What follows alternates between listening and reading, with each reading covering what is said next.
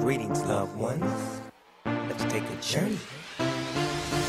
I know a place where the grass is really green.